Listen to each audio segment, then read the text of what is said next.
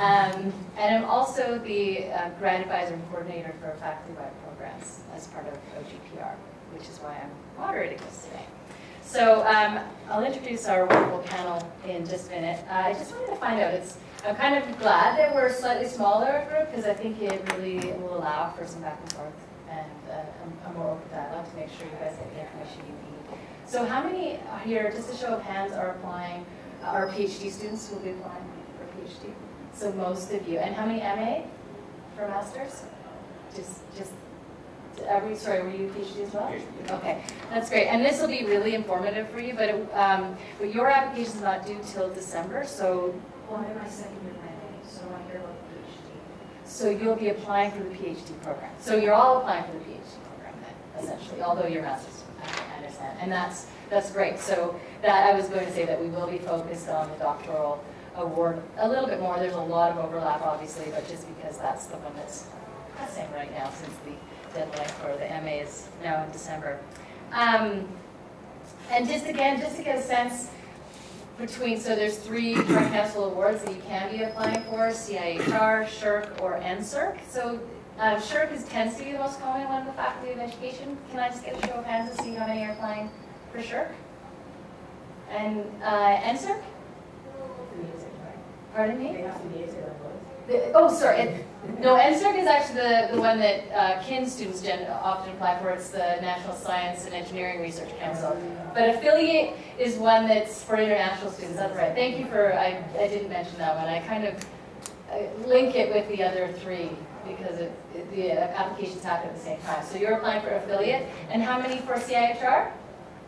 So we're all applying for SSHRC or affiliate here? No. I haven't decided yet. You haven't decided. Okay, good, because that's an important question that we can talk a little bit about. So you're on the fence of SSHRC or CIHR? Yes. And, and this has become a, a point of contention in the last few years that they, as they, as CIHR and SSHRC have become very particular about making sure that the appropriate applications go to the right funding body. And we've unfortunately seen um, very strong applications get turned back at the last minute after it's too late to switch funding bodies it was decided they were in the wrong, the wrong competition. Here it's a kind of a, a booklet of all the information, everything you could possibly want to know about um, Tri-Council Awards and an affiliate. And uh, that's also on our website though, so you don't feel, you don't need to take a hard copy of a few of them if that's, but if that works best for you, grab one on the way out. Um, for the fall session, uh, sorry, for the fall deadlines, it's the department deadlines. I'm not sure if they've been posted, but just so you know, they are September 28th.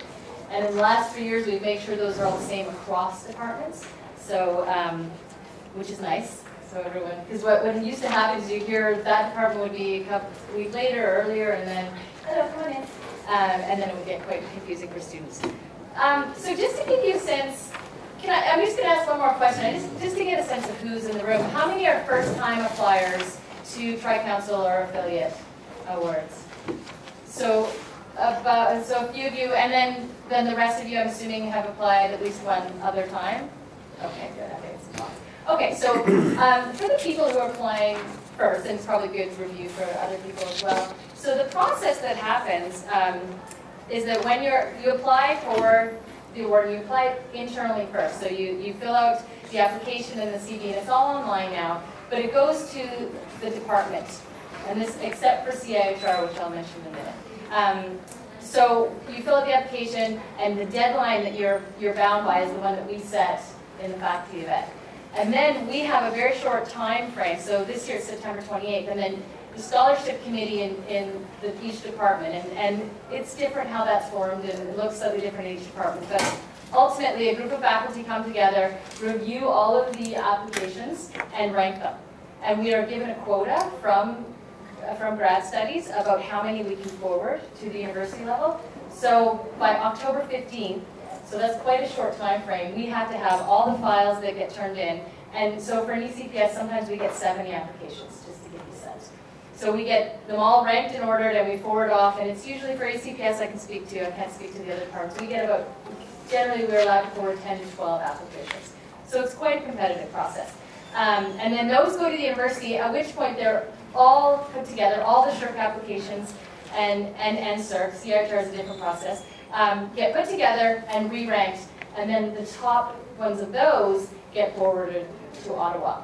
And so as the applicant, you get noted, you get informed if your application, um, when it gets, goes to Ottawa or not.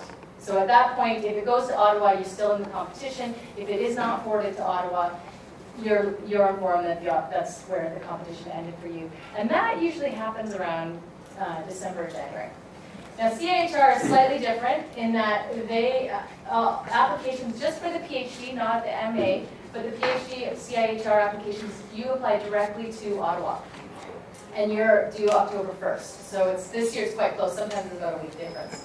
Um, and that, and it gets all adjudicated at Ottawa, although there's rumors that they're going to download that to the universities as well, so. So that may change in future. Okay, any quick questions about that? I just want to kind of get a sense of what, you know, the, the thread of, of where your application goes once you submit it. Okay, and then two final things before we get started, before I introduce our panel and get started. Um, first, there is another information session on, in September and, uh, September 10th. And it's, it actually would be a good thing to come to in addition to this, because what that one, there'll be some um, overlap in that we'll be probably repeating some of the information I'm saying right now, but also at that point, you'll, um, there'll be breakout opportunities where you can show your application, your proposal to a faculty member who will be able to, to vet it for you. And, uh, and that's, uh, having multiple eyes on your research proposal is probably the biggest uh, piece of advice I can give you. To have as many different people who are not in the field, because the chances of you having, even within the university, having someone who actually knows your field read this and, and, and understand it at the, at a person who's in the field, like the, an expertise level of the, of knowing the jargon field is very small. It's very, almost zero, and certainly once it gets to Ottawa. So the more, you know, the more that it can speak to a broader audience, the stronger that it, it can become. It is. And then the other, the other piece that I want to say, there's, there's tech support that will be available in September, and that will all be advertised from OG OGPR, so you'll get it in the news flash. And that person um, can help you, because it's moved online, there have been people struggling to navigate some of the technology. For second and third timers, you'll probably be fine, but if you're, if it's a new process for you, then feel free to tap into that resource. So that person will help, help navigate the online systems, and then also can provide um, very rudimentary editing as well, wordsmithing and editing. And then, sorry, I only said two, but I did remember a third thing I want to say. Each department is also uh, pretty active in providing resources and, and opportunities to have information sessions and, um, and share knowledge about how to, to, to better your applications. I mean, it looks good for us, and we want to help students put in the strongest applications they can. So also watch your departments for announcements of different information sessions and one-on-one. And I, I mean, the one-on-one sessions in particular, again, you just can't have too many people read it and give feedback on it to say, well, that doesn't make sense to me, and realize that, oh, I was assuming that everyone knew what I was talking about with that. Okay, so our panel, which is, is one short, but um, Dr. Young might join us at one point, uh, with Dr. Jim Anderson from LLED, and we have, um, sorry, I didn't read your name because I just met you, Jesse McEwan, and he's uh, a kin student, but a, a SSHRC success, a successful SSHRC uh, applicant. And we have Cynthia Min, who is from CF, is CFI student, and she is a successful CIHR applicant. Um, and if you, if you guys want to, did any of you want to say anything else before we jump into the panel questions? Uh, I'm Anything okay. I missed? Okay. Um, uh, So we do have a set list of questions that I'll be posing to the panel, but I as I said, I think if, you know, clarifications, I mean, I tend to be a fairly casual person, so I think to make sure it meets your needs, to jump in and, you know, for example, point out that I forgot to mention affiliate awards, you know, so let's, um, so hopefully we can all, we can uh, you can feel free to, to jump in and ask questions. What do the three of you think makes an excellent program of study description as part of your proposal? So, Do you want to start? Sure. Um, What I'm about to say basically is, is um, based on a lot of my own experiences working with students and, and so forth. And uh, uh, the students that I've worked with uh, have all applied for and received, uh, they- it- it's SSHRC that I'm familiar with. I'm not familiar with the NSERC and the other, and and the affiliate awards. I'm familiar with the affiliates as well. So in terms of uh, um, what makes a good program, first of all, I think it's one that's clear in terms of its, you- you've clearly identified the purpose of the study, um, what your plans are in terms of carrying it out, the methodology. It's also clear in terms of uh, significance, and I, I- I just want to highlight that because I think that's something that uh, sometimes gets short shrift. Why, why, why does this study need to be done, I think? Um, I would avoid using too much jargon. Um, And that's difficult because, of course, you're writing in a particular field with its own language and, and so forth. But as much as possible, use plain language, and if you have to use jargon, uh, try to define it. Um, The other thing I think that makes for a successful um, pro- um, um, proposal is one that's been worked on and wordsmithed, as, as, uh, as uh, Jen said.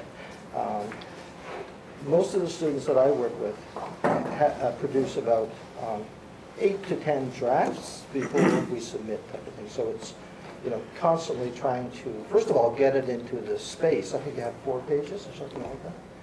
And, uh, and then also uh, wordsmithing in terms of uh, clarity and, and so forth. Also, very uh, uh, common things like use, make sure you use headings, uh, because they really um, help the reader. The, the people who are reading these are reading sometimes hundreds. So the more you can help the reader, the better. Um, I guess just to piggyback on a few of those things that you were saying, um, yeah, if you can go beyond the what and go into more of the how, and by that I mean everyone's going to say what they want to do. Some will be very introductory that, oh, I'm interested in this variable or the relationship between this and this. But if you can get into any sort of detail, I mean, you don't have to say exactly the, I don't know, the sample size and type of, you know, uh, statistical tests and all those things that you're going to use necessarily, but if you can provide some sort of detail, to a certain extent anyways, of how you're going to go about doing your dissertation, I think that uh, seems to help based on, again, this is just what's worked for me, I don't know if this is the right way, but um, talking with my supervisor, other students who have gotten funding, um, any sort of detail like that is helpful. Um, what was the other thing I wanted to say? Oh, and as far as, uh, you know, making it clear, sometimes it's hard to know, like, what is jargon and what is, like, common knowledge. I think if you kind of go from the perspective of, pretend like you're explaining this to a friend or a parent or something, a grandparent, uh, someone who's just completely unfamiliar with what you're doing, um, you know, even just has basic education, um, anything like that can can help just as far as how you go about with the tone and the language that you use. So I think the only thing I have to add is really, um, especially I think for CIHR, you need to make it clear, uh, like, you know, what the significance is. And for CIHR, it was has to be something related to health of Canadians or some patient outcome. I, I, I think, and I, and I assume it's kind of like that for SSHRC as well, just really driving home, you know, this is why it's so important for me to do this study, because it's gonna have these sorts of implications, or it'll inform X or Y, so I think, um, you wanna have that be clear, you know, at the beginning, at the end, and sort of outlining why is this such a big problem that's worthy of funding. And I think with that, like even starting broad, um, you know, what the bigger purpose, and then you know narrow, narrow, narrow, and then at the end come back out Yeah. to, to the broader purpose again, just so you really drive home that connection. Like if you say, this is what I want to do, this is what's important, and then you list all your studies, and then you know the reader's like, well, I don't see how this really connects, you know, with what you are interested in, then that's obviously a bit of a red flag. So. Um, I think, I those are, I just want to add a little bit, and I actually, Desi, I think, for me, I wrote down here, because we, we've got these in advance, I wrote methods, methods, methods, so in fact, I would, you know, reiterate exactly what you said, that it's, it is about the how. I think we all, we thought about what we want to do and why we want to do it. And so I often, the first, the first draft of a student's SSHRC um, application will be one and a half pages of your hook, your problem statement, this, you know, why it's important, and the research questions and what that, and then there'll be, you know, two sentences on the methods. And I'm gonna do that by, with, with, you know, with people, with kids or something, you know, and, and so in fact, it should be the, the reverse of that. So absolutely you need to have a problem statement, identify the gap in the field, and, you know, start broad and narrow down, but very quickly you need to get to the methods. And the hard part is you probably haven't even really thought that through. So it's a bit of a, you know, I, I describe it as a bit of an exercise in following through a problem. So actually thinking through, down to the sample size and the specific, if it's, if it's quantitative, these, you know, if you're gonna use regression or, or hierarchical linear modeling or something like that. That is the level that, especially for a doctoral application, that I would expect to see, especially for someone in a second year or higher. And I think the more detailed and the more specific you can be in the methods is actually what, what sets good applications apart. So again, it's not, and you know, I've had students say, well, I don't, I don't, this may not even be exactly what I'm gonna do, I don't, you know, what, I, I feel like I'm lying, but it's not, we recognize, and even when, as faculty, we write grants, we, it's what our best proposal is. It might not, you're not bound to do it exactly like that. It's really just to show the feasibility and that you know exactly what's involved in following this research question from start to finish. And then, yes, the other little piece I would add is that impact statement at the end, whether for CIHR it's related to health benefits for Canadians or for SSHRC if it's related to education outcomes or whatever, you know, is the focus of your research, that's often, that that's often missed on applications, and it is, you know, for ECPS, we use a we have criteria that we, you know, score for in each area, and one of them is significance, and if students don't have that, they've lost, you know, five points right there. So it doesn't, you know, it's not about whether your significant, the significance of your study is more significant than the significance of that study. It's really just about that you've actually acknowledged how it's significant, if that makes sense. So it's not, we're not rating whether we think it's significant or not, it's whether you told us that it has. Okay. And any questions about that first question?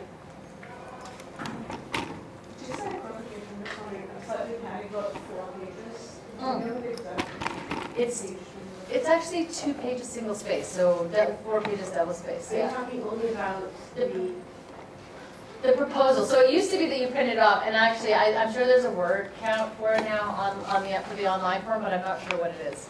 But it's, it works out to be about like single space to, to uh, do the references need to be in the proposal as well?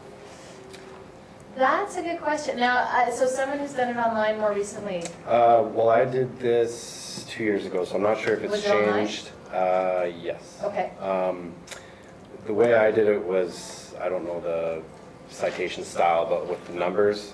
Um, so like I write a sentence at the end of the sentence, square brackets, number one.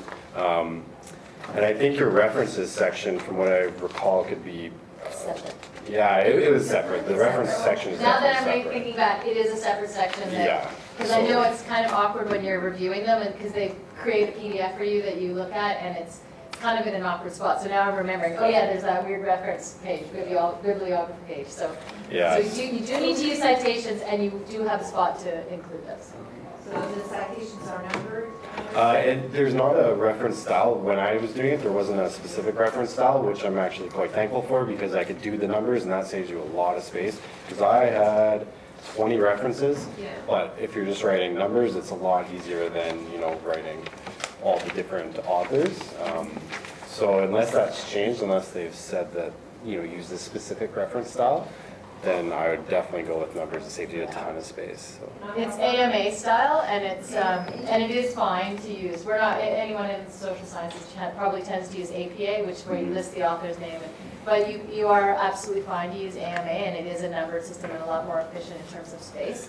I will say white space is nice for reviewers, so um, Jim's suggestion of headings, like that's, you know, if you can work it, you have theoretical perspective or introduction, and it's its own line, that it's not like squished in there, you know, or it, it is nicer for when, the reviewer is reading, as you said, up to hundreds of them. And one more question, please. Is there a suggested number of references? Is there optimal, No.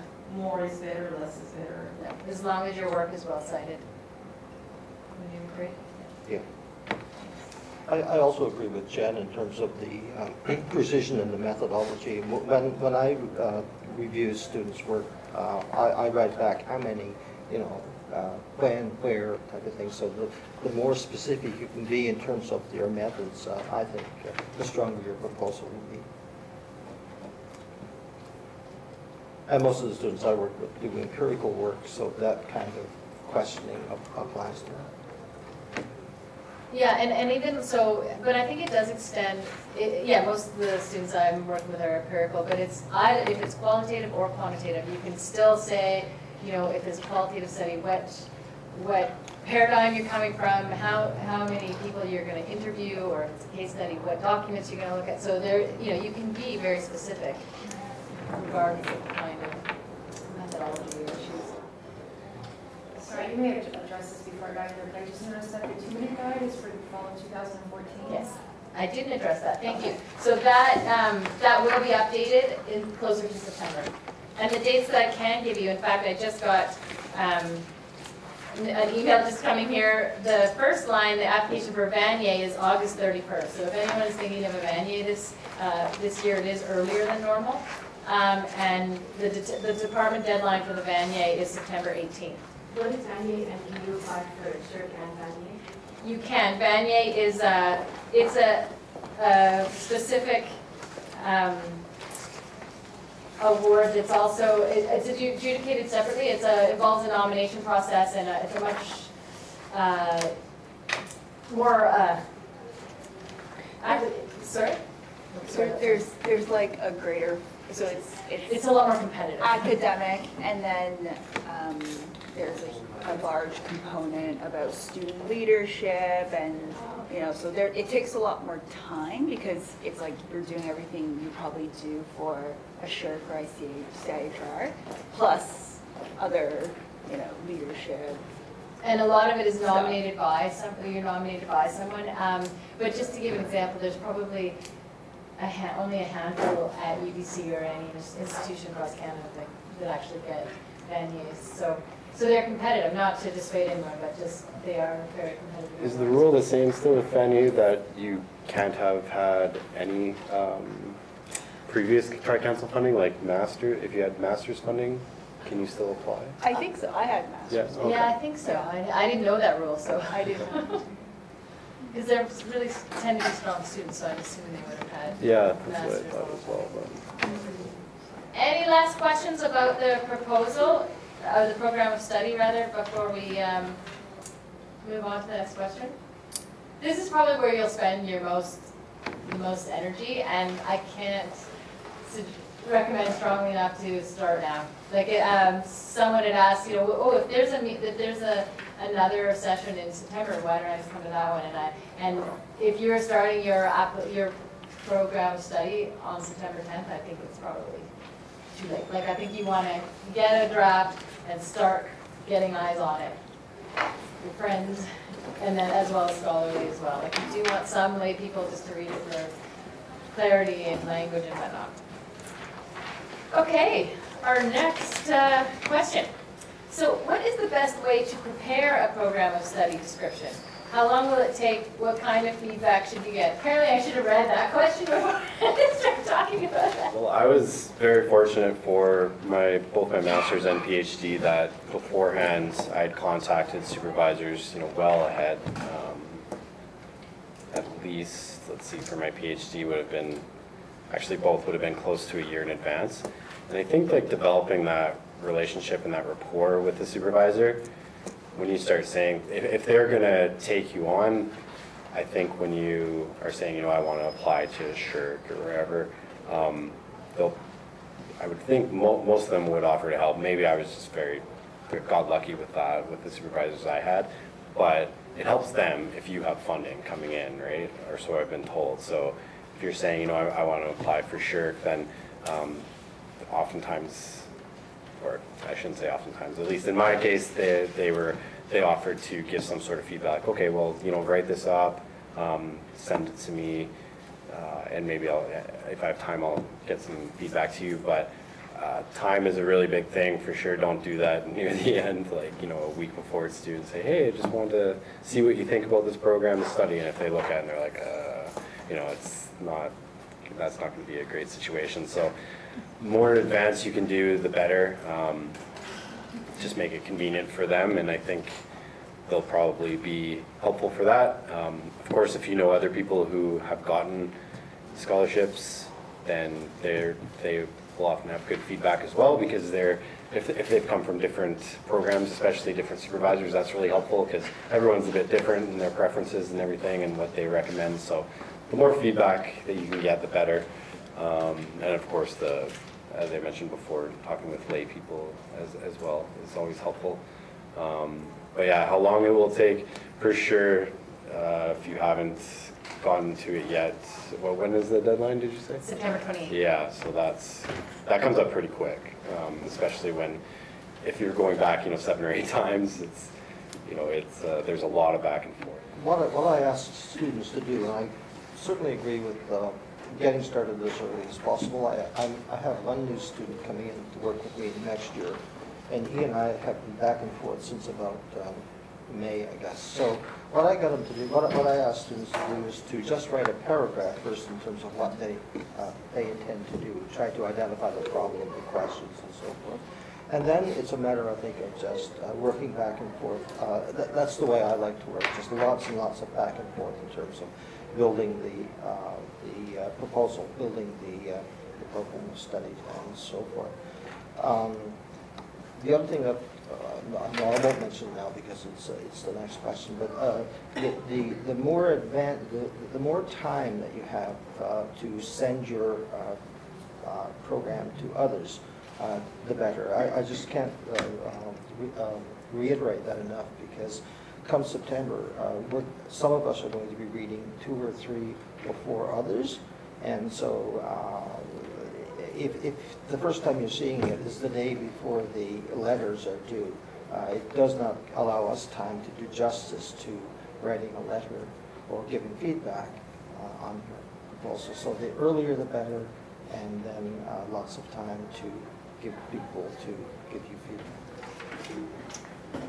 Yeah, ju- just to add, I think, um, Desi, I think uh, as faculty, it, not only as you aptly point out, don't, you know, it, it help, makes us look good. So, you know, when we're, when we're being reviewed for things, the number of students that we have that have been sure for CIHR affiliate or, you know, federally funded, um, matters.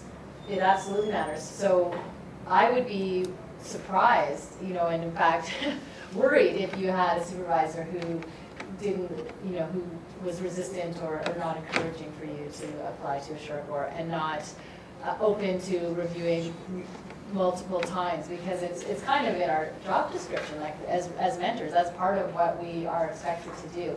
Um, and, you know, I won't jump too much into that, it's the next thing, but I think, you know, that is fully something you can expect as a graduate student, so don't be apologetic about that.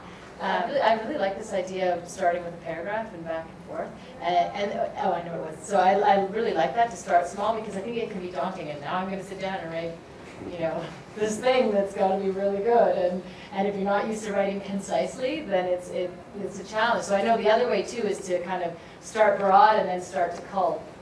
Um, but uh, one, one of the things is time in terms of your referees. So I know some faculty who are in small programs, they often have to write six or seven letters. And, and it is true, if you get them the day before, they tend to be more boiler, boilerplate. And I, as, you know, I've been on these adjudication committees for years, so you can see the boilerplate ones. They- They're the, just kind of, this is the X, this is the, you know, this student is good this way and that, you know, and they're the same, that was written for all of them. So if you give that person enough time uh, to make sure that they can, you know, have all the information from you, so sometimes I'll sit down to write a reference and I'll realize I don't have a current CV for the student, so I'll pop them an email, they, you know, I want to know how many publications you have or conference presentations, and if that information isn't, um, if I I don't have time to get that information, it's the night before that they've got it to me, then obviously that's not going to go in the reference letter, so.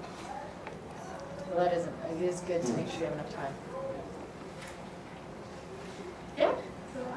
So I have a question about affiliated fellowship again. Yeah. So since there are many categories of affiliated fellowship, and if a student has received affiliated fellowship in one category, can they apply again next year for the other categories? Because in affiliated fellowship application, we need to check certain boxes for which, uh, which categories our application is eligible for.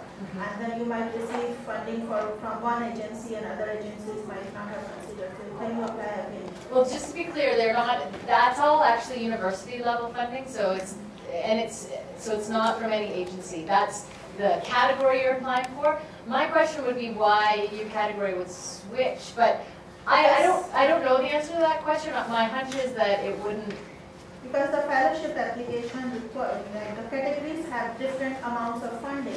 And if you look at the affiliated fellowship, there's like sometimes funding is only dollar two hundred fifty, which couldn't be sufficient for a student. So Right. definitely student would want to apply again. But Right. there is a question here in this paper that is talking about tri-council and they're saying if you have received SSHRC fellowship once, you shouldn't be applying for it again. But Not for- that- affiliate you can apply for multiple times, because it's only single year funding. But SSHRC or, if you have received SSHRC funding, yes, you are me.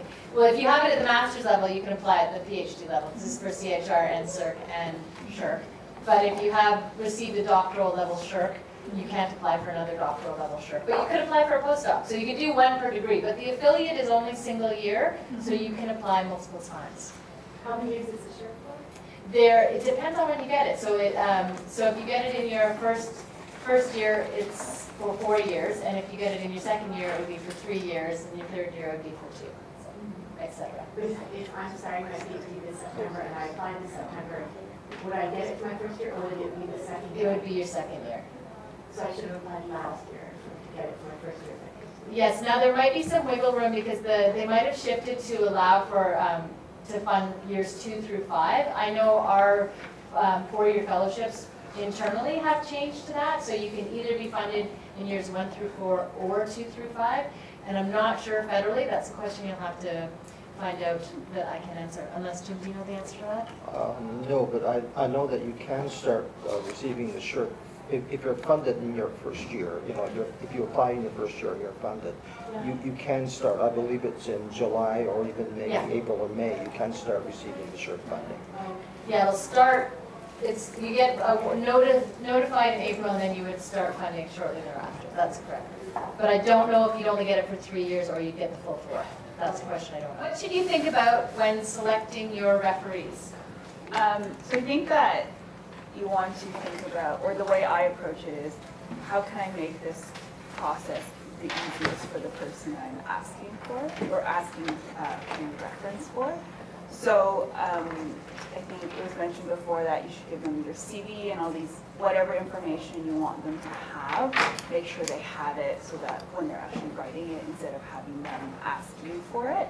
So what I usually do is, um, because, I I think, I can't remember how many referees you can, or how many references, letters you need for each, but if there's two or three, um, I actually tend to be more specific in that I will ask, uh, I'll, I'll be more directive in terms of, like, I'll suggest, you know, to referee one, maybe you can highlight these things, and then the second referee can highlight these other things that are different.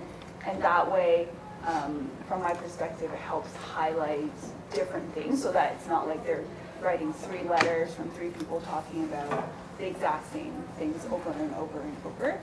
Um, so, yeah, so I would provide a CV, and I, and then I just say, I just ask them, could you highlight these things? And there are things that um, are directly relevant to how I know them, or through, you know, if if we had some, you know, if we worked on a project together, then I may ask them to specifically comment on that project instead of something else that they were not directly involved with.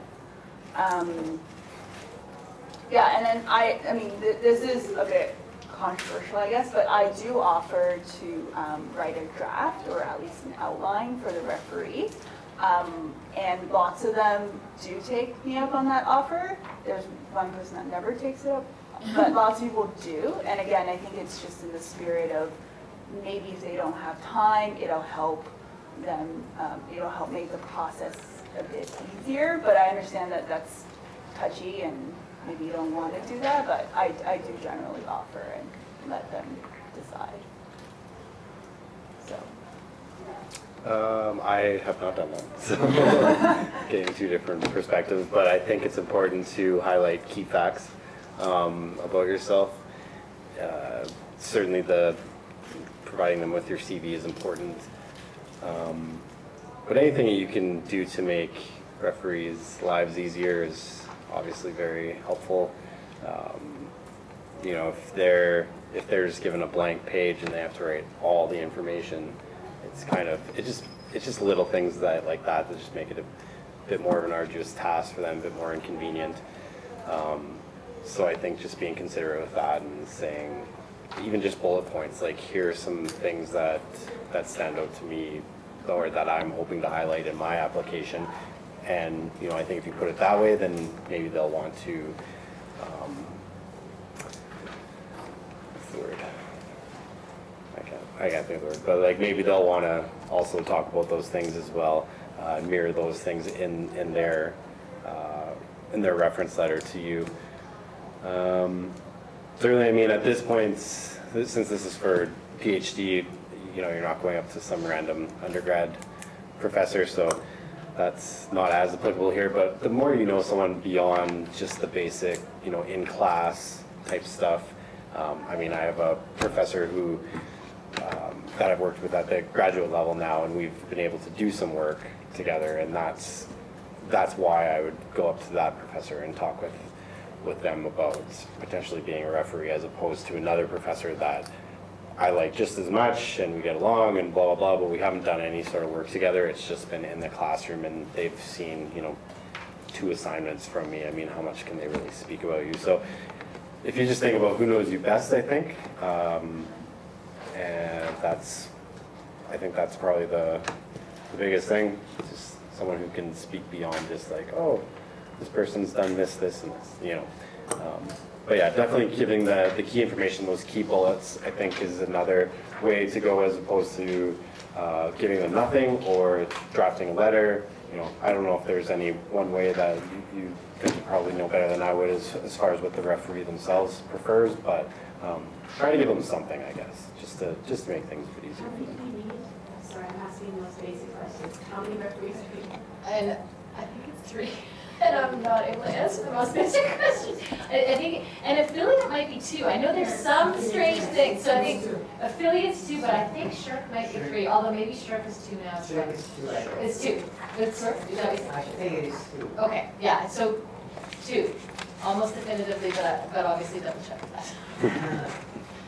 It's also a practice in our department, I'm not sure if it's, uh, if it's uh, universal or not, but if you come up a master's, uh, we, we usually recommend that you get your supervisor from your master's program to write, uh, uh, especially if you're just uh, in a first year uh, PhD, because uh, your supervisor will know you better than any of us here.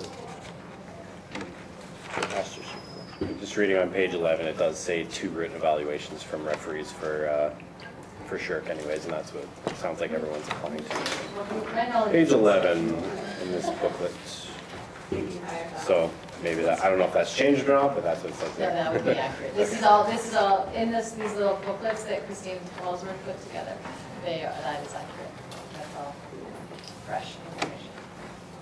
Did you have anything else to add? Okay, and you had a question? As a question about the program, so you don't really, as we Okay. transition that.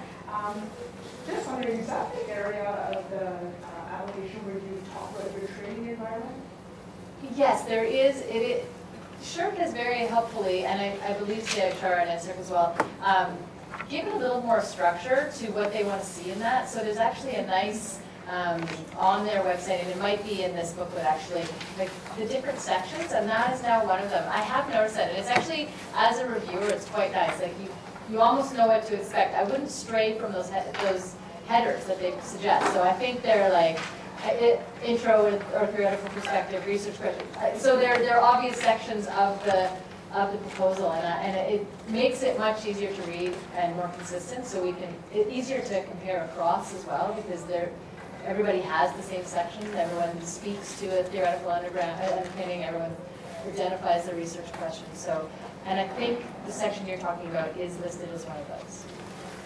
Um, so uh, just what I would add in terms of supervision, going back to that for a second, um, I've never had anyone offer to write, and I can't honestly say how I'd react. So, um, yeah, so I, I don't know if that, if you feel, I, I would, I probably would do that if you feel really uh, comfortable with the person. So, or, or check in with them, or it might be, you know, I've heard that some people offer to write, I'm happy to do that. But one thing I just want to reiterate, don't be apologetic when, you know, this is an expect, this is something you can expect that faculty will and, and should be ready to, um, write you good, ref- write you reference letters. And, and as faculty, we expect you to come to us, and I often have students like, I'm really sorry to bug you, I know you're super busy, it's like, yeah, I'm busy because this is SSHRC season, and you're part of SSHRC season, so, you know, so uh, don't be apologetic about that, it is expected on our end. Um, I, one thing that I recommend to students when they approach a, a faculty member, so find someone, as I think somebody said, you know, that you have a connection with, that you know they know some aspect of your work, whether, you know, it's your supervisor, or obviously cho- obvious choices, committee members, um, master's thesis supervisors, but also like maybe, you know, if, if, when they needed three or for other things, you know, sometimes you're looking at people that just have had, you've had coursework with. So the people that you're a little less connected to, one really good thing to do is very directly ask them, you know, can you write, do you think you can write a strong reference for me? Because I know, you know, writing a reference and writing a good reference are two different things. And I think that kind of information is really important. So if you ask someone and they, and they might respond, well, actually, you know, I, I know you from that one course, I don't really feel like I know you that well, maybe I can't. And so that's good information, and then move along to another person, right, who, who can. Um, so that's an important thing, to make sure the person, you know, obviously the people that you're close with, that you're interacting with regularly, your supervisor, you'll have, you'll know that, um, but people that are a little bit more distant. Um, in terms of, uh, I often get this question asked, so should you, should the reference be an academic or professional? So sometimes for people who are teachers, is a, a principal or someone who works in a school district good? Who, people who have PhDs, so the training is the same. Or for people in clinical programs, uh, what about a, a psychologist or somebody who's who's not um, also has a doctorate but not a clinical uh, position? And in general, um, I think academic uh, academic references are preferred because this is an academic research-oriented scholarship. But I know for clinical people in particular, um, if you if the person that you work most closely with happens to be a clinical person, as long as that's balanced by someone who's also academic, it, it can be okay. I, I you know I have seen people, but I will tell you the dialogue in the room of adjudication will be, oh yeah the references are good, but two are from two one was a principal and one was um, you know, someone who hasn't done research in 20 years. So, you know, so it is, that is factored in. Not, you know, it doesn't matter, associate, assistant, you know, you know, those, a name in the field, sure, that's great, but it's not necessary. You know, when the person at, in Ottawa or even at the university probably isn't going to know the referees, referees, even if they are top names in the field. So that's not as key, I would say. Yeah? Would it be better to ask someone that you work with most recently? Like in your masters or, or, masters is that so? Well, I think it, it would be expected, and I think Jim alluded to this, that you do want the person who you most recently worked with, because again, it might raise a question. So I've heard comments like, oh, that's weird, there's no master's thesis reference here, but the master's is from her undergrad. Huh. So that's a question mark. Why wouldn't your master's thesis supervisor, was there, was it not a good relationship? You know what I mean? So, so it would, probably the most recent is I mean, in, in addition to my master's supervisor. Oh, whether you should go to someone you worked with in your undergrad versus someone that you don't know as well, but you're starting to work with now? Let's say, I know both professors pretty well, I'm just trying Well, I think if it's someone you're currently working with, that's important. Now, I don't know if the master's person is the same as the doctoral, if it's, if it's not someone you're, um, probably current would be better, I would think. Because the undergrad, and that's also two degrees ago now, so we assume you've blossomed into a different kind of scholar. Yeah, we want to know now, I think, so current. I'm just kind of thinking out loud, so this might be dangerous, but I wonder with um, the reference, if maybe coming back to what your proposal is, if you're thinking of who that second person could be, if you're doing maybe community research, uh, doing some, some sort of, yeah, research out in, in, the community or, or whatnot, maybe, um, I don't know, working in, in schools, for instance, maybe that's where that, that reference from outside of academia could be, could be good. You know, maybe you've, maybe you've done some volunteer work at schools and this principal knows you well, and now you're gonna go back to the school for your research. Yes and no, and that's, I think, what happens is that students will find someone like that, but that person is, may supervise them or be involved with them, but not in a research capacity. Mm-hmm. So they're not actually really able to speak to, because they're probably not an active researcher if they're a full-time principal. Um, so they're not able to speak to the research capacity for the student, which is really what the tri-council people want to know. So it is a bit tricky. So clinical, I would, I'd make an adjustment for, because there's a lot of clinician, you know, clinical scientists, you know, practitioner scientists, people out there. But again, I would make sure that who- if it's a non-academic person, that they have, they are connected to research in some way. Does that make sense?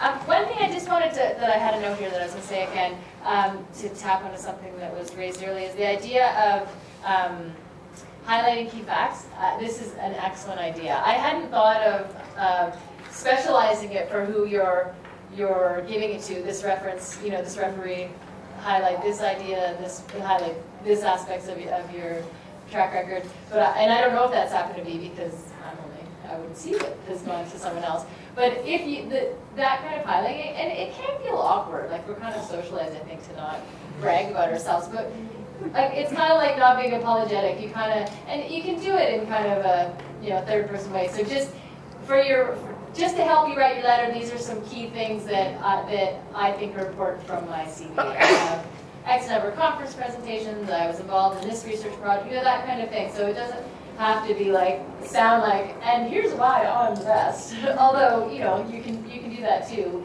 From our, from my perspective as faculty anyway, it's all, it is all helpful. The more information, the easier you make my job, including filling out the forms and whatnot, and supplying your student number, giving me CVs, a copy of the proposal, all of that is, makes it much easier to write a reference letter. Yeah, I think the key word with that is that it's, they're facts, they're not opinions or whatnot. So if you're writing like, Yeah. Oh, he's done an excellent job with this, that's more of an opinion of yourself. And that, that's where it can feel really awkward talking about yourself. But um, if it's just facts, like this is what I have done, this is what I have done, you know, not being hyperbolic or anything like that, then I think it just, you know, that is what it is. That's actually what I've done, um, as opposed to those, like, let them talk about those other, those other things, like he's actually done a really great job, or she's done this and this, and we're very appreciative, blah, blah, blah. Um, But yeah, just the facts, just stick with the facts. And we do, we will add all those hyperbolic things, we absolutely will. Um, And, you know, you were saying about the, just going back to the beginning, offering to write it. I will say, you know, and I can't speak to other departments, but when we're on the scholarship committee, there, there have been times over the years where there's a faculty who is kind of known for not writing very good letters. And the students obviously don't know this, but we actually have, um, when that happens, we actually go back and get new letters. Like if there's, you know, typos or whatnot, because we know that that going forward, this is a really strong student and it's the letter that's hurting that student, then, you know, we can, we can fix that. And, and then we also give support to that faculty about, well, here's, and lots of examples, and we also circulate, here's good exa, here's examples of what good reference letters look like. So, so there, that, we get support in making sure that we're doing you guys justice. Is that, would that, is that true in LLED to a certain extent, or? Um, The, the, the, the quality of the letters varies. sure, Yeah. Um, I, I don't think that we go back and get the letters. uh, It's been a rare. Really, really tricky, that one is, yeah, but, uh, yeah. Um, And of course, like again, going back to time, the more time that you give the person who's writing the letter to compose it, uh, the better off you'll be, because he or she will be able to write, hypothetically be able to write a stronger letter if he or she has time to do it. See, what is the best way to interact with approach referees? And this was, for me, my answer was to talk about not apologetically and ask if they can write a strong letter, but I would love to hear what the rest of the panel have to say.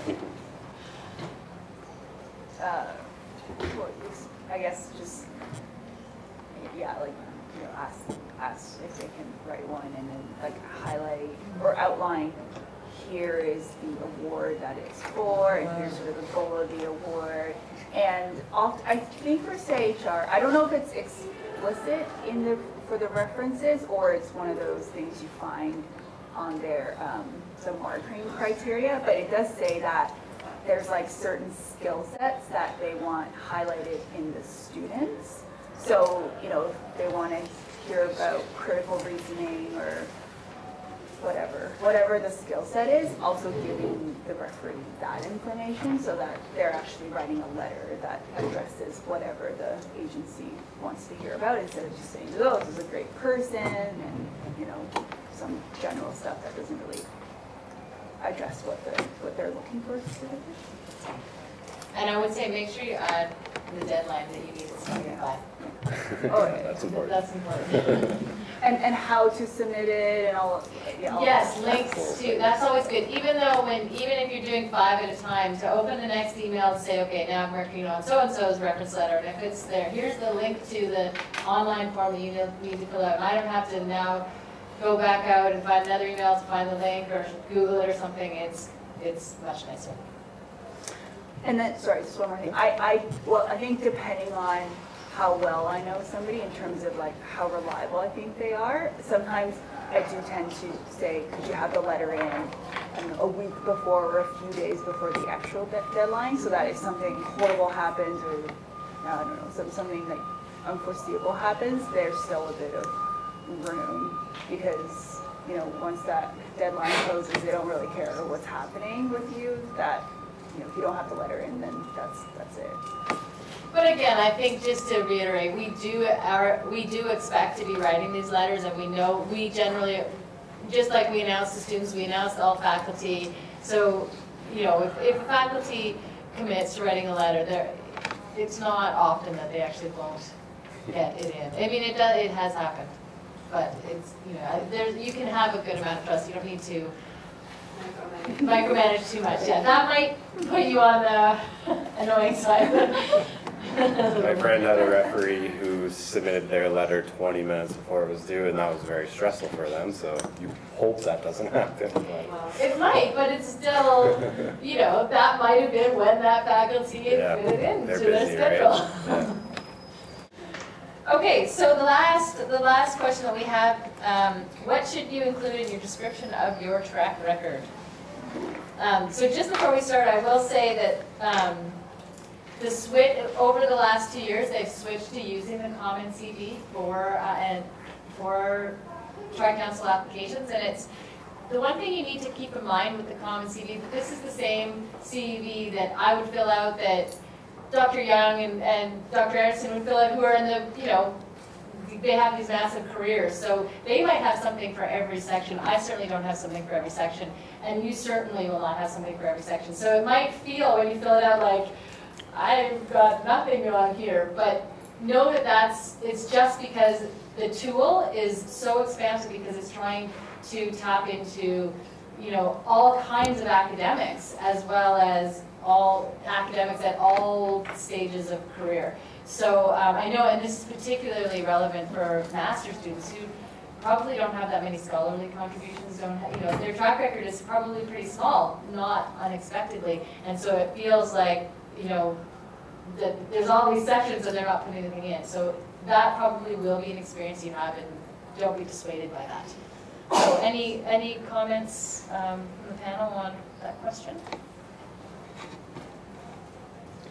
I, I think for, um, for CIHR, like, when you go on the Common CV and you pick that you're applying for a doctoral award, it actually restricts some of the sections so that the, the ones that show, so not all the possible fields actually show up. So then that's one way to guide what you're gonna include, because they've just decided we only want to see these things, I think. But even within those fields, like, so for example, for publications, there's journals, book edits, book, book, uh, sole authored, edited, book chapters, artistic, uh, you know, so even within that, there's probably like fifteen to twenty different ways that you can have a publication. So, you know, when you put your one little your one little journal reference in the first one, it feels a little, you know, signal to noise. One of the things that can differentiate a person is, is your previous academic awards. So wherever the section is on the CV, previous academic awards, uh, indicate them, include them because they're important. Because that distinguishes people from, you know, makes certain people rise to the top of the list. So exactly, like you mean all previous tri-council or any, Or any, yeah. Yeah. Uh, Hundred dollars from the Faculty of Education Yep. for this or that. uh, what you need yeah, and on that note too, like, I know, so we have a conference award in ECPS now that it's, it's for hundred dollars. And it's actually not competitive, but I, when we developed I purposely called it the conference, conference award. So that it can go in that section, so it's not just conference refund or something, you know, like, so, and you, so you can, anything like that that you can think of that could be within reason, but, uh, sold as an award is, is good. And I, I always list one awards that I've declined as well, and I don't know. if Yeah, Yes. That's appropriate, absolutely. If you've Absolutely. been awarded something and declined, uh, that's count, You get listed, absolutely. yep, because you were awarded it, absolutely. And so that'll often happen, you'll get, um, you know, some award, and then you'll get a SSHRC, which now you, you lose the internal funding that was maybe given to you, but you were still awarded that, and you absolutely can still list it. And I think anything that can somehow set you apart from other applicants is always a good thing. Um, Yeah, I think if it, especially if it relates back to your research or in, in some way, I mean, I might talk, so I, I don't know if they still have it where they want to know your relevant work experience. And I worked at a place for like six months and it wasn't, it was like part-time, it wasn't that big, but it was with sport. And that's what I'm going into, is sport psychology. It was actually sport medicine, so it wasn't even sport psychology, but it's still in that field, right? Whereas another place, I worked construction at the same place for three years. I'm not gonna talk about that, that has nothing to do with sport, right? Um, So I think, I'm not sure how,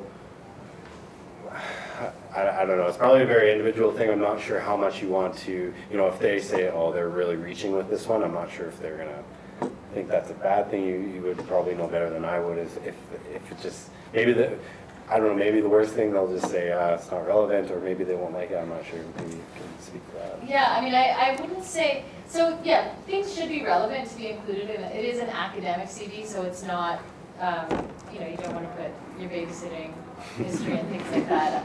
Um, I'm only kind of joking, because I've seen something else. Um, but, so relevant things, uh, and with work experience, I don't think I ever hear people, like I'm thinking of adjudication, I don't really hear that discounting. I, I hear, what I hear more the pitfalls of the CV is putting things um, in, in the, either the wrong section, so listing your awards in a scholarly contribution or something. So kind of not, that's a little bit more difficult now that it's been through the, it's through the common CV, so it's a little more clear. But the other thing is what I hear discounting track records is um, obvious padding. So if there's a, you know, your unpublished masters should not be listed as a publication. It's, it's not a publication. Um, if you have, you know, um, submitted or under revision works, they should not be listed. There is a section for that, but it used, and again, this might be less of a problem with the common CV, but in historically, so this is good advice for any CV writing. If you list, you know, submitted or under revision as publications, that's a good way to uh, frustrate, for lack of a politer way to say, uh, uh, someone who's reviewing your file, because it's, they're not publications. So you don't mean things that have been accepted that are in progress? Those are absolutely fine. Okay. Those are Because, important. um, List those. A friend of mine had three sections, and I want to ask you what you think of these. Um, Under research contributions, she had forthcoming publications, other referee contributions, which is where she put conferences and different things like that. And then non-referee contributions, like books that she wrote that were for the general public. Yeah, that, that sounds, that sounds fine. Um, for conference presentations, which are really common in, in my field, and I think probably for a lot of you, and probably what you're more likely to have, as opposed to lots and lots of journal publications. Um, it's not as clear in the common CV where they go, so that does sound like a good spot for them, like, because they are refereed, and, and, but they're not, you know, they're not a, a publication per se, there was a present, it was a presentation, so I know students get confused about that Okay. I think that there's another section on there that's for conference abstracts or something. So that, that one, I'm still not really clear Yeah, whether you would put it twice when it's, when like the, the conference has an abstract book that they Yeah, publish that's what with. they, that's what that means, that would be a publication. And, and that's the other thing, don't put things twice in two sections. okay. I didn't get what you just said about where to put the comments on Yes, so we'll, Claire was suggesting to put them in, um, Other referee. in other referees, which is one solid option. Um, Just, that- uh, well, just in terms of how to classify things. Yeah. I like the word in press rather um, than forthcoming. Mm-hmm. Forthcoming is a bit vague to me, so I'd like, to know, and I'm not just sure, you have to of make sure it works with the CV, the common CV, but I know what in press means. It means they've accepted it for publication and you have nothing more to do with it in a sense. Forthcoming. Yeah, it's good. So I- I'd say if it's in press, say it's in press. And I think on the common CV, there are sections for each of those to say, and I think it's even more broken down, so there's accepted, in press, published, and, you know, and, and so forth and so on. uh, if you've been accepted to make a presentation or a poster at the American Psychological Association, you would have submitted an abstract, and they would have accepted your, your presentation based on that abstract. But that's not a publication, because it's never published. The abstract is not published. But CPA publishes the abstracts, or at least it used to, I don't know what they did. Oh. It used to publish the abstracts in their, one of their journals.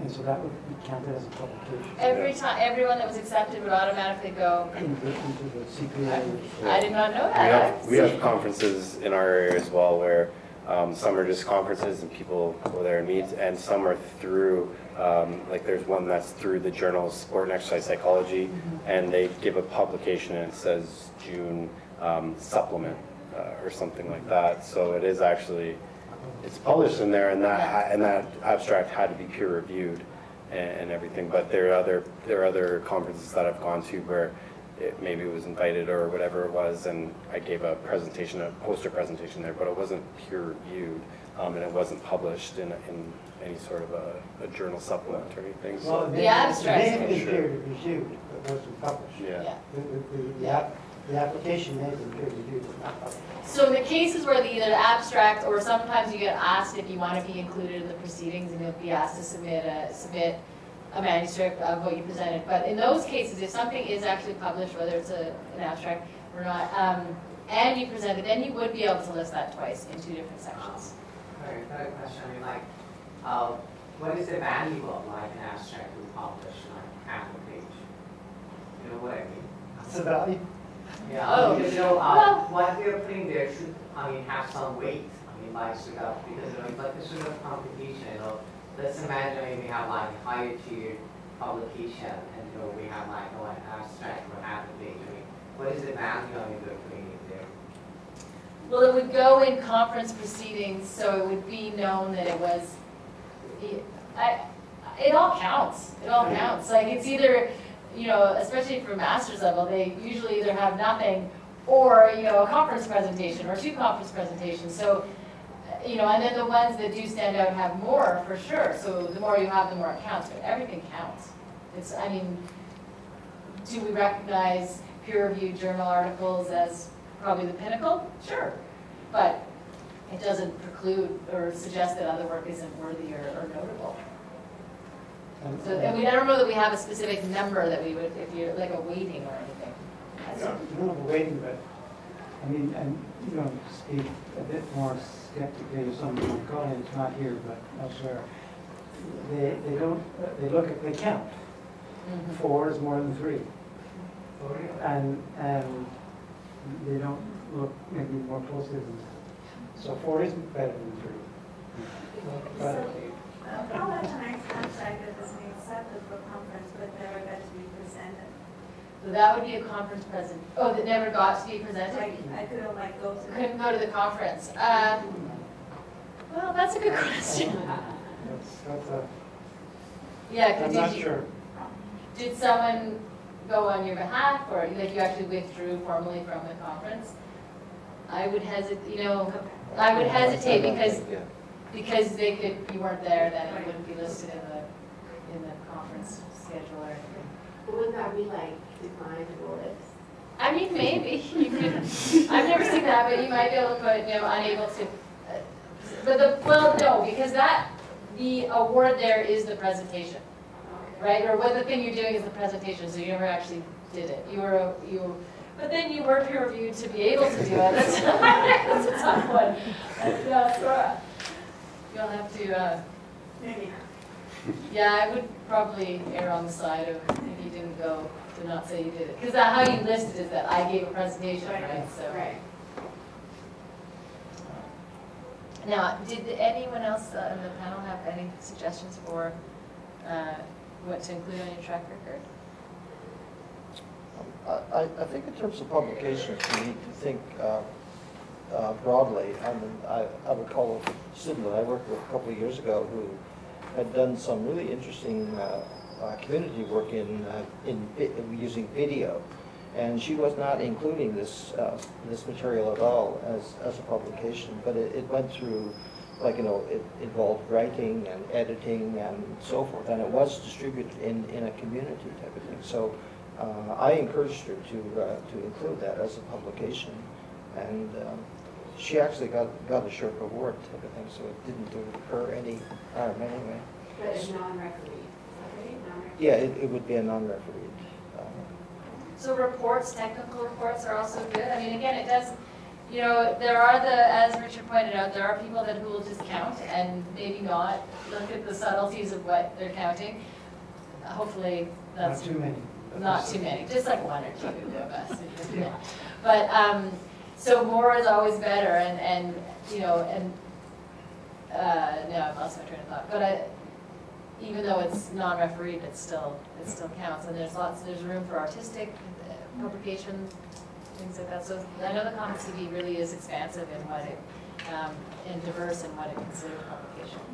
So, You know, yeah. uh, No. You know, uh, after an assumption, you can correct me if I'm wrong. You know, my understanding is like, uh, my application should be sort of pleasing two group of people. One is like the department and faculty people who are more academic based. The other one is like government people who are more sort of, you know, sharing people who are more sort of, I would say, uh, they may count. Is it correct? No, they're all, so everyone at the department level, letter, level is academic people, and then at the university, it would be, it would be other faculty from across that would come together for a committee, and then at Ottawa as well. So what happens is when it goes to Ottawa, then all the applications go out to reviewers, at, but they're faculty at institutions across Canada. So what, all it means is that the further you go along in the competition, the chance of someone, a more broad perspective, uh, looking at it. So I know, I have a friend who's a professor um, in linguistics at, at University of Manitoba, and she, we were chatting one day, and she was a SSHRC reviewer, and she said, oh, I have someone from your department. So I'm in ed psych, and she's in linguistics reading some, you know, she just recognized the, the department. And so, so that's really it. It's not that you- you're always speaking to an academic audience, but a broad academic audience. So that's why we, we're not using jargons because oh, Exactly. that's wrong, but all of them are academic. All of them are academic, absolutely. Sure, people just uh, are setting them out, they're just, they're acting in administrative roles. So in terms of other, these community publications, non-refereed ones, if we're looking at something, my name isn't on a publication, it's like a board statistical report given to the board of directors. And, but it's published in a formal bound book, and it's provided to the government, but my name is not on it. So, right, it's my organization, my nonprofit organization is on it. Oh, well, I think if there's some link to you, then, Um, and the only link would be if they spoke with my supervisor that I worked on this, because it's done by our, our nonprofit. That's um, that's another tricky one. Uh, Well, I- like, you know, This is the way I would do it. Yeah. Just, this is just my personal opinion. So, um, let's say SPCA was the organization, so SPCA, uh, 2014, and the report on um, rescue animals in Vancouver. Or, you know, the name of the publishing company and then say, uh, put in brackets, I contributed to this report as a statistical analyst or research assistant or whatever. Or wrote sections, yeah. Yes, I mean, you're not saying you're the author, you're putting in the author's name if it's the organization is the author, but put in brackets your contribution, I include. Personally, I would include it, I don't know. Yeah, I agree, yeah. I think that's a really good workaround on that, yeah. Yeah. So similarly, let's say somebody published a paper and you did some work on the research side of it, and you get the acknowledgement in the article where your name is actually put in there, thank you to this person for helping. No, you can't list that, no. Sorry. Yeah, so an academic, so if it's an academic publication, Yeah. yeah, so we rec, so that, authorship in that is a fairly standard process, so if you're not an authorship in that, then you're not. I mean, so this is a slightly different case where it's, there might be different, um, you know, a different culture, a different procedure for identifying authorship, and it's an organization that was the author, so different. Is there a section in the new CV, the way it's laid out, on like volunteer experience, relevant volunteer experience, or anything? I think it goes under, and I- if I'm remembering correctly, this was a real, like, where to put volunteer type experience. I think it's under like relevant work experience type thing. Because I wonder if, you know, if there was a project, if you were Oh. hired on there or you just volunteered in the lab, if you can put that somewhere else, volunteered on this project and even, you One know, give the publication came out of it, yep, yep, something like that. Something like that. Yeah, you, you don't want it to be lost, but uh, hopefully you have good relationship with whoever you worked on that, so maybe that person is a referee, or, you know, or you can talk about when, in, what they, what that person highlights is the research you worked on and helped with this publication. But yeah, unfortunately, you can't list that as publication. Okay, um, I've never had an opportunity to give any presentation on any conference. So uh, when we talk about conference, it include any uh, workshops? Workshops are separate, and I believe there is a place, I'm not sure if there's a clear-cut place, but that might be under relevant work experience, and you can talk about running workshops. Um, That's, that's one thing I would strongly recommend to everyone who's, you know, to build your CV, so obviously maybe not for this September, but for a year from now. Conference presentations are quite an easy way to get that, that count up, so, you know, they're, they're, they, conferences tend to have, especially flagship ones, tend to have a fairly high level of success uh, rate for, for admission, and, you know, I- it's, it's a nice, it's a good way to, to kind of get some items listed, lines on your CV, and that's scholarly contribution. But I think the workshops would go under work experience. Yeah, um, currently the school board is inviting one of our workers my company to make a presentation next year. Well, that's, see, now that would actually be, could be like an invited Yeah. presentation, which is actually, Yeah, now, and, and even though it's local, the fact that you're invited, so those are actually even, in some ways considered, they count more than present, than publications. So if someone's recognized your work and think you're deemed worthy enough that they want to invite you to give a keynote or lead a, lead a workshop, give a talk to professional development days, that's actually really important. There is a special section in the Common CV for invited presentation. And those, I think students often don't know when to put something in that, but again, anytime that you're invited to do something, it should go in that section, and that's actually, they get very high counts. Yeah, I think if there's, if it's, if it's relevant uh, um, in some way, you know, see where, look, look through, there's so many different sections. I haven't seen this new CV template, but there's so many different sections, so maybe you can't put the acknowledgement under a publication, but you can put it somewhere else. You know, same with the, the presentation. If you can put it somewhere, as long as you feel confident that you could actually defend that, you know, I think that's important. You obviously don't want to stretch it too much, but, you know, just look at the, I would, I would, if it were me applying again, I would just look at the template and what I've done and where, where could this fit, and you're, and you're pretty confident that does fit there, and you're not stretching it or stretching the truth or anything like that. And I would actually, I think that's a really good approach, and I would also recommend, students often don't do this, uh, in this, approach in the same way they do the program of study, I would also get feedback on it. Ask your supervisor, like, is this, how does my CV look? So I had a student a couple years ago, and I was on the committee, and I, I had had multiple iterations with the program study, but I never saw the CD. and then when, we- when I was actually adjudicating, she, had- it was, nothing was in the right spots, like I was like, oh, why didn't she list this, why didn't she list this? So, and, and so now I have a policy with students I work for, or work with, that I see their CV as well, because I think it's, especially as it gets more complicated, this really broad common CV, it's easy to have things that are like, well, that would, you know, another opinion might have been, uh, you know, someone who's been through it or, or had, might have a, a better opinion of a place to put something. So seek advice is my, my suggestion on that. You go to the OGPR website, is that, that booklet that were, that was here? I do have one copy. Yeah, I don't, I don't. Okay, oh, we have copies, okay. I have a master's one. Here's the, so I, I'll just put, uh, you asked, you can have it. But there's another couple, but that, that actual is a PDF on this line.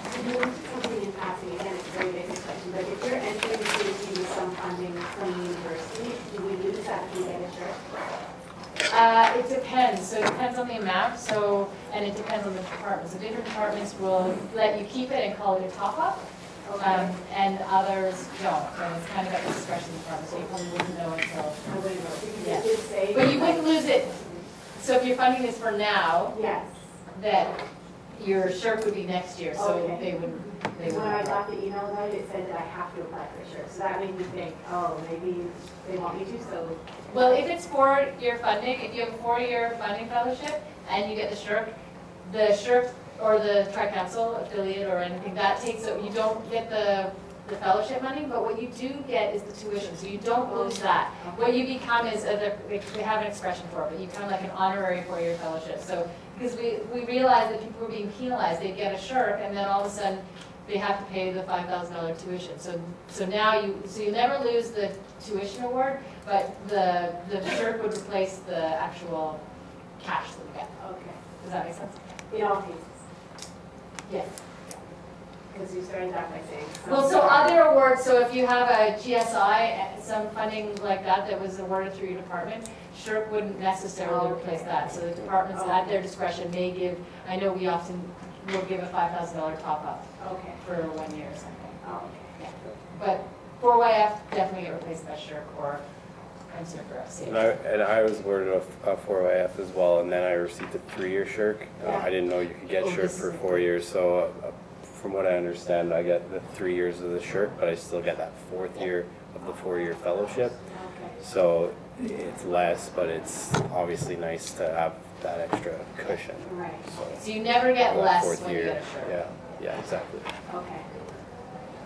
Um, the, I just noticed that the, uh, tri-council is, is less than the four YF.